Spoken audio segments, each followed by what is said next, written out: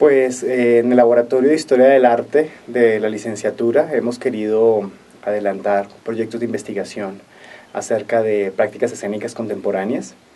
Es por ello que vamos a tener nuestra primera residencia de creación en el marco laboratorio con un proyecto de la artista italiano-argentina Tania Solomonov y franco-belga Eve Bonneau, que vienen desde el 2 de febrero hasta el 11 de febrero van a estar en residencia de creación en el Centro Cultural de la UNAM, eh, por, la, la avenida Acueducto. En, este, en este espacio tendremos tres escenarios. Eh, vamos a tener un taller abierto al público, previa inscripción. Eh, en la página de la ANES se encuentra todas las directrices para eso. Y además también una charla pública y tendremos una presentación de las acciones que, que iremos construyendo con EF y con Tania. Primer Movimiento es un proyecto que logramos financiar gracias a la beca de coinversión del FONCA, donde nos queremos concentrar en un trabajo más somático, más sensible, un poco dislocar esta misma noción de la danza como un evento espectacular que sucede en un teatro, donde el espectador está sentado en una silla y ve a los bailarines. Este, este proyecto cambia completamente toda esa concepción es un trabajo mucho más de presencia, de trabajo de las sensaciones, de estudio de la arquitectura y de la ciudad. Eh, es por eso que, que, no es tanto una obra fija, sino es una obra abierta que se va indagando y se va construyendo según eh, las coordenadas que Ev y Tania encuentren en su residencia en Morelia.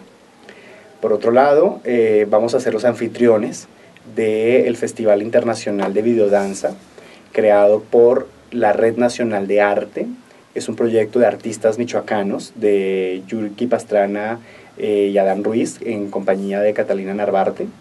Ellos ya hicieron la primera versión en la Ciudad de México en diciembre. Yo fui jurado, fui invitado como jurado para escoger qué piezas de videodanza íbamos a compartir. También, también estuve jurado Jorge Sistos y Stephanie Yaniana. Y ya cerrado como el proceso en la Ciudad de México, nos pareció oportuno compartir y socializar los materiales que se recogieron para esta versión. Es por eso que el 25, 26 y 27 de, noviembre, perdón, de enero vamos a tener de 5 de la tarde a 7 de la tarde las proyecciones de los videos. Eh, vamos a tener un cupo abierto, entrada libre, eh, solamente hasta llenar aforo. Igual también para las actividades de primer movimiento, el taller, previa inscripción, eh, la, charla la charla pública, que es el miércoles 8 a las 7 de la tarde, es abierta a público, perdón, 5 de la tarde, es abierta a público. Y las funciones del jueves 9 y el viernes 10 a las 7 de la tarde también son entrada libre hasta completar aforo.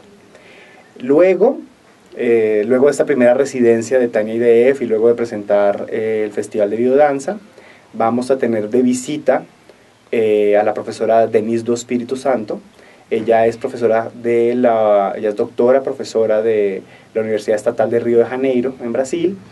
Ella viene a trabajar con nosotros también en el laboratorio eh, la relación entre cuerpo y violencia, cuerpo de las mujeres y violencia, y cómo se construye esa violencia y esa presencia en el espacio público de la ciudad.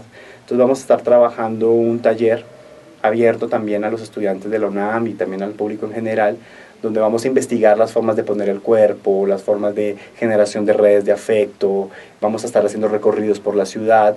Esto va a comenzar el 18 de febrero y va a terminar más o menos la primera, segunda semana de, marzo. La residencia de Denise es un poco más larga.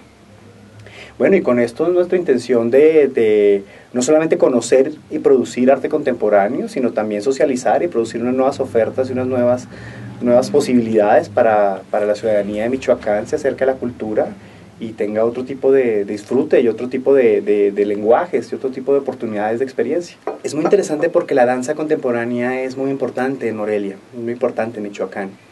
También hay importantes autores en las artes plásticas.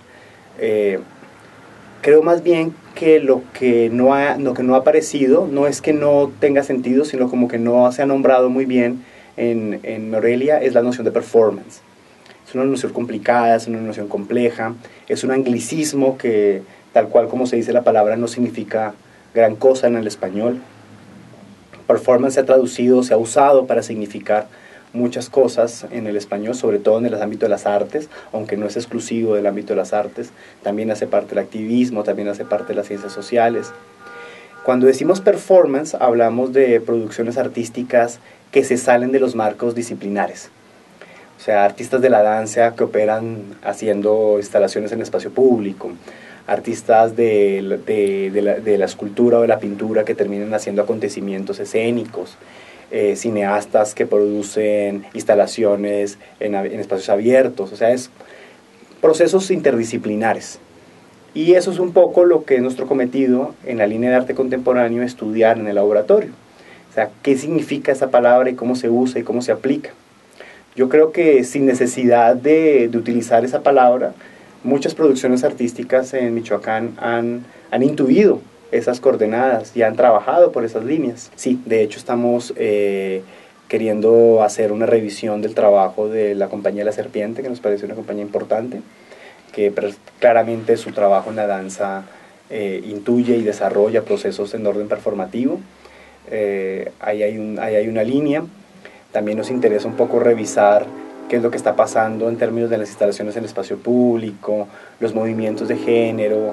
Es amplio. En el laboratorio trabajamos con el grupo de estudiantes de la licenciatura de Historia del Arte. Tenemos también un seminario abierto, que es el seminario de estudios del, del, del performance y las artes vivas. Ese seminario se va a llevar a cabo abierto también a público, previa inscripción. Se va a llevar a cabo en el Centro Cultural de la UNAM. Va a ser cada miércoles, cada tres semanas, a las de 5 a 7 de la tarde, en nuestro centro cultural. Ese, ese, ese espacio de seminario lo, lo coordino yo. Hay estudiantes de la licenciatura de Historia del Arte, de Arte y Diseño, también hay artistas de la ciudad.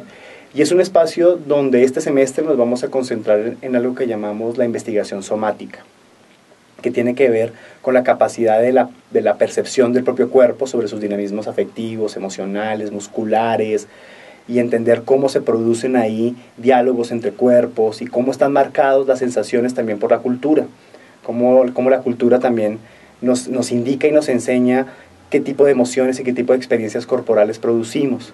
Entonces vamos a concentrar este semestre en eso y estamos abiertos a, a, a recibir a las personas que se quieran sumar. Solamente habría que escribir un correo electrónico para inscribirse. Eh, también en la página de la ENES brevemente estará esa información. Yo creo que es importante un poco cambiar nuestra noción de cuerpo. Generalmente pensamos que el cuerpo es algo que usamos. De hecho, la publicidad, la publicidad de la medicina y la publicidad de los gimnasios eh, tratan al cuerpo como si fuese un vehículo, como si fuese una máquina, como si, como si fuese algo que uno usa uno usa su cuerpo, por lo tanto hay que mantener su cuerpo. Yo creo que eso es un gran problema cultural, porque no damos cuenta que somos cuerpo, que vivimos corporalmente, que nuestros afectos, nuestras decisiones, nuestro trabajo atraviesa y sucede porque somos cuerpo. Vivimos en una vida muy intelética, muy concentrada en nuestras dimensiones intelectuales y abandonamos un poco nuestras dimensiones corporales. Recordamos que somos, que somos cuerpo cuando nos enfermamos en el momento que surge una molestia. Inmediatamente tratamos de zanjar esa molestia a través de algún medicamento. Y no pensamos que tal vez esa misma molestia es más bien un signo de algún proceso corporal o emocional que está siendo desarrollado y que no hemos percatado. Por eso nos interesa concentrarnos en la noción de somática, que implica trabajar esa experiencia. Y un poco estas experimentaciones artísticas nos quieren llevar hacia allá, a ver, pues a ver qué encontramos. Digo que es una puerta abierta. Sabemos ahí qué vamos a encontrar.